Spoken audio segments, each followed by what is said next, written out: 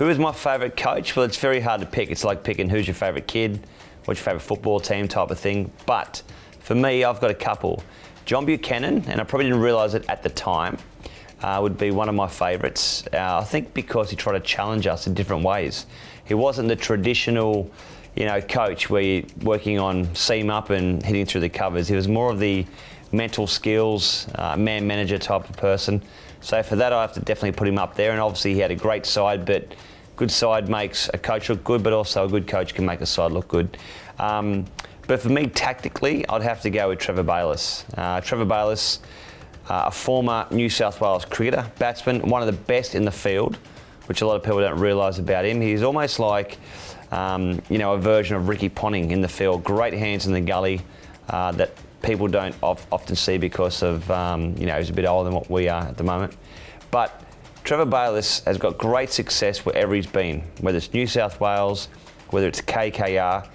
And I want to break it down to a few simple things. Trevor Bayliss, his heart rate would not get above 45 beats per minute, period.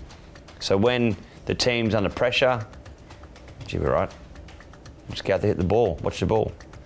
And that's the philosophy of someone like a Trevor Bayliss. Don't get overwhelmed by the situation. Play the ball, don't play the person. The team meetings were short and sweet.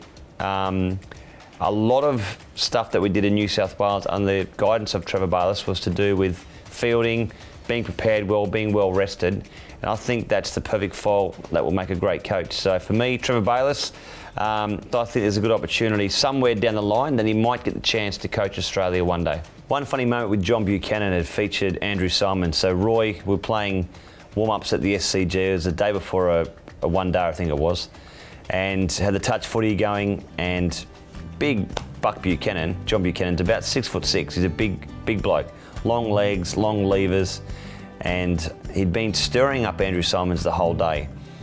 And what Buck used to do was, as you go in and you tip, as what they do in touch footy, He'd then do a little punch in the ribs to Andrew Symonds or he hit him on the cap. Simo goes, I want to fix him up.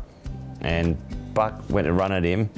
And Simo got him and smashed him, spear tackled him down to the ground. Six foot six frame, skinny, tall frame, driven into the ground, stretch it off, had to miss the game, had to take two weeks off work because it, I think it did a disc in his back. But um, not great for John Buchanan, but brought a lot of laughter to the team.